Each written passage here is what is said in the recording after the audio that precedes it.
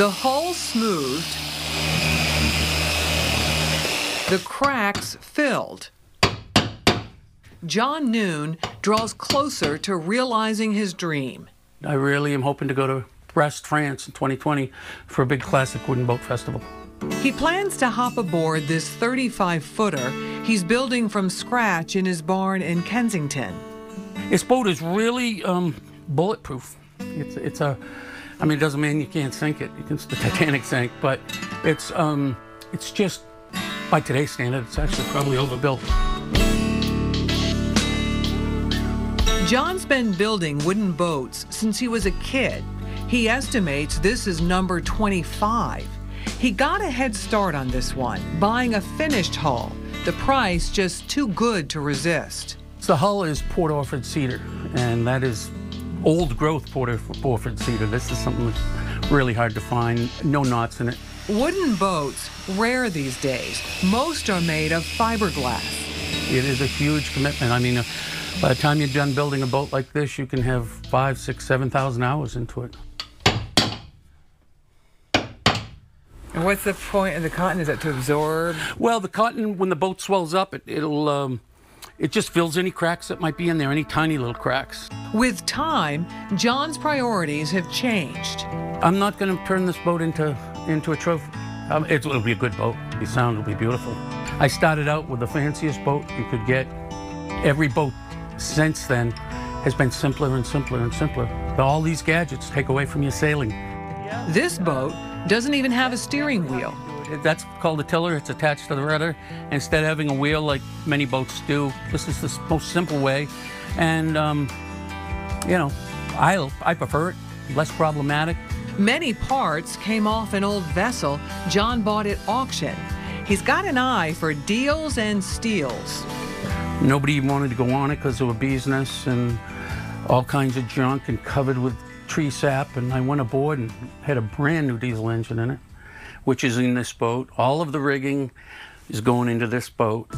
He won't set any records sailing to France. The 35 footer designed to be seaworthy, not speedy. Just the way John and his wife Linda roll. The couple took off on another wooden boat he built, the Guardian, planning to sail two years. The trip lasted 10. I've probably spent over a third of my life on a, you know, in a bunk somewhere.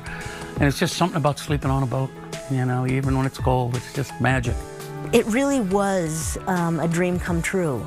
20 countries, from the Bahamas and Bermuda to the Caribbean, Europe to Africa, Norway and Sweden, Scotland and Ireland. Even their cat Willie had a passport. It was very regulated on getting a cat into the UK, so we had to get a passport. Almost for naught, the cat fell overboard on their way to Bermuda. We started looking for him on deck and down below, nowhere to be found. They were in the middle of the ocean, in the middle of the night. This is uh, about 2 o'clock in the morning, uh, flat calm, not a breath of air.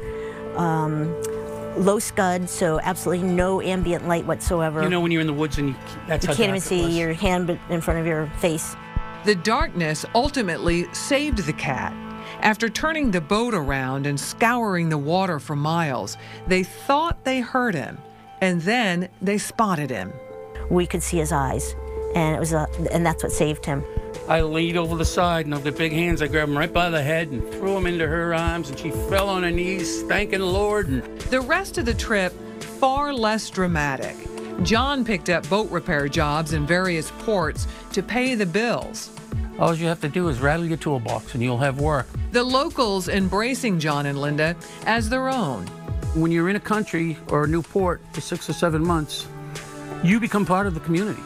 Well, you know, the, the people at the hardware store, the spinach, bigger John, a bigger John, a bigger John, you know, coming in, and, or, uh, you know, little Linda, little Linda. The world's full of great people if you open yourself up, and we just have, you couldn't have had any better, better time.